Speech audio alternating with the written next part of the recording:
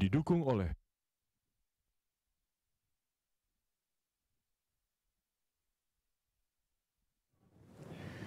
Ya, kembali di Inspirasi Ramadan dengan masih bersama kami Bapak Hamdi Muluk. Kita sudah buka puasa ya Pak, Iya. lebih segar ya. Ini Iya, terkait dengan dengan tema kita eh, mengenai istiqomah dan Ramadan. Iya. Orang kan tadi bilang bahwa puasa itu menjaga atau apa namanya membatasi eh, keinginan, Iya, begitu ya. membatasi keinginan, Iya. itu Apakah setelah buka puasa, diri. apakah Iya. setelah buka puasa atau puasa setelah eh, selesai atau Ramadan setelah selesai, eh, bagaimana kemudian makna dari istiqomah tadi Oh kemudian iya, kita justru sebenarnya pelajaran istiqomah itu ujiannya setelah. Ya, bisa juga kita manakan begini, ujian puasa itu akan berlanjut ke 11 bulan setelah itu. Artinya apakah Anda bisa berperilaku konsisten ya, persisten kalau bahasa Inggrisnya itu istiqomah itu Yeah. konsisten dan persisten bertingkah laku tetap menjaga nilai-nilai kebaikan itu perilaku-perilaku yang baik yang sudah diajarkan selama di bulan, Bulan puasa Ramadan. itu itu berlanjut terus sampai 11 bulan berikutnya itu disebut dalam agama Oke. istiqomah kita jadi, terus gitu. jadi bukan ada juga yang melihat bahwa J- jadi bukan berarti setelah bulan puasa selesai wah kembali lagi semua karena katanya bisa semua dihapus di bulan Ramadan Oh nggak enggak, begitu ya itu, itu ya? keliru gitu. Jadi sebenarnya ujiannya itu akan berlanjut terus sampai 11 bulan berikutnya. Mhm. Tapi kan begini, namanya manusia dikasih pelajaran sebulan, Mhm. ya. Setelah itu pelajaran itu harus juga diamalkan terus sebelah, sebulan eh, 11 bulan berikutnya. Mhm. Ya. Biasanya suka lupa kan? Lupa. Mhm. Suka lupa. Nah, Allah tuh sayang sama kita.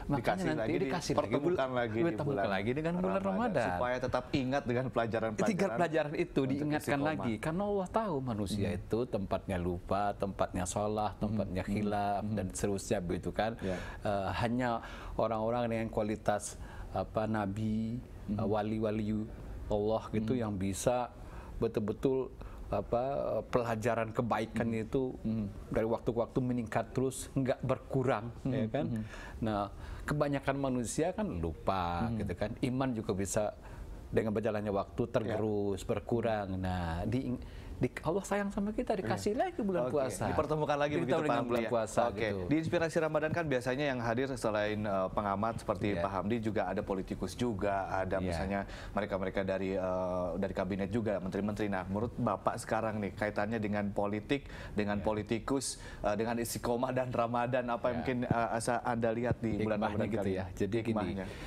ke- kita merindukan sekarang politisi itu istiqomah juga dalam berpolitik dalam pengertian tentu Hmm. Persisten dan konsisten. persisten konsisten untuk menjaga marwah politik itu Hmm. sebagai pengemban amanat publik. Nah, Hmm. istiqomah itu adalah tetap berpegang teguh kepada amanah publik itu. Meski boleh loncat-loncat partai boleh Oh. ya, asalkan dia tetap bahwa memegang amanah. dalam berpolitik memerlukan strategi, memerlukan supaya tujuan itu sampai. Tapi sebenarnya hakikat dari politik adalah mengemban amanah publik itu. Jadi istiqomahnya itu istiqomah dalam menegakkan membela nilai-nilai publik. Ya, kepentingan publik kan di atas segala. Itulah hakikat politik. Jadi kalau, kalau, dari amatan Anda Pak Hamdi setiap bulan Ramadan bagaimana kondisi psikologi politik di Indonesia? ada bulan Ramadan. Ada kenapa dibilang bulan suci ya? Kenapa dibilang bulan suci? Kondisinya memang apa mengkondisikan orang untuk eh, berperilaku lebih baik ya. ya.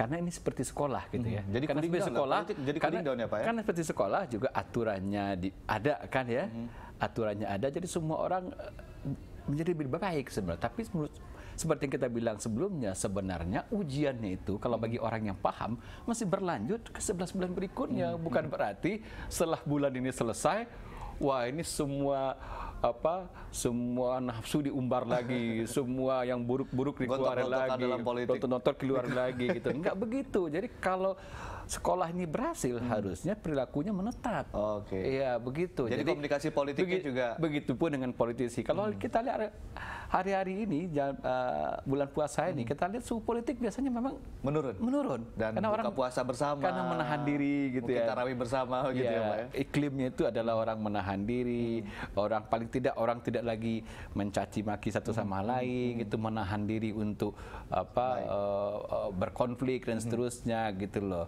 Eh, tapi alangkah baiknya sebenarnya bahwa pela- pelajaran Ramadan ini dibawa ke 11 bulan berikutnya. Dan itulah makna dari istiqomah itu sendiri. buat istiqomah itu sendiri. Baik, gitu. baik Pak Hamdi. Ya. Jadi mungkin kita bisa mencatat inspirasinya kali ini adalah bahwa Ramadan itu justru tantangannya 11 bulan ke depannya sehingga kita tetap istiqomah dan tetap persisten dan konsisten. Itu dia. Betul. Terima kasih Pak Hamdi telah Sama-sama, sharing bersama Mbak kami di Inspirasi Ramadan.